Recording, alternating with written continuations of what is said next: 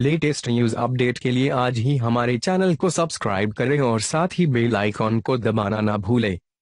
इंसानों के खुदकुशी करने की खबरें तो आपने बहुत सुनी और पढ़ी होंगी, लेकिन क्या कभी कुत्तों के आत्महत्या करने की बात भी सुनी है? अगर नहीं सुननी तो आज हम आपको कुत्तों के आत्महत्या करने के बारे में बताएँगे, जहाँ हर साल कई कुत्ते आत्महत्या कर लेते हैं। दरअसल, स्कॉटलैंड के डम्बार्टन के नज़दीक बसा मिल्टन गाँव में एक ब्रिज है जहाँ से कूदकर हर साल कई कुत्ते आत्महत्या कर लेते हैं। ऐसा माना जाता है कि ये ब्रिज कुत्तों को आत्महत्या के लिए अपनी ओर आकर्षित करता है। बता दें कि 60 के दशक से अब तक इस ब्रिज से कूदकर करीब 600 कुत्ते खुदकुशी कर चुके हैं। एक हज़ार आठ सौ उनसठ में बने इस ब्रिज का नाम ओवरटॉन ब्रिज और 1950 से 1960 के दशक में इसे पहली बार कुत्तों की आत्महत्या को लेकर नोटिस किया गया। इस ब्रिज से कुत्ते बिना किसी वजह के अचानक कूद जाते थे और 50 फीट की ऊंचाई से गिरने पर उनकी मौत हो जाती थी।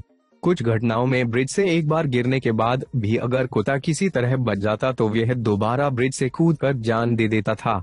लगातार कुत्तों के खुदकुशी करने के बाद ब्रिज पर चेतावनी वाला बोर्ड लगा दिया गया। हैरानी की बात यह है कि जितने भी कुत्तों ने इस पुल से कूदकर खुदकुशी की वे सभी रहस्यमय थीं, क्योंकि सभी कुत्तों ने ओवरटॉन ब्रिज के एक ही तरफ़ से कूद कर आत्महत्या की थी। यही नहीं, कुत्तों ने छलांग एक खास स्पॉट से लगाई थी। इस ब्रिज से कुत्तों के आत्महत्या करने के रहस्य को आज तक कोई नहीं जान पाया और आज भी ये रहस्य ही है।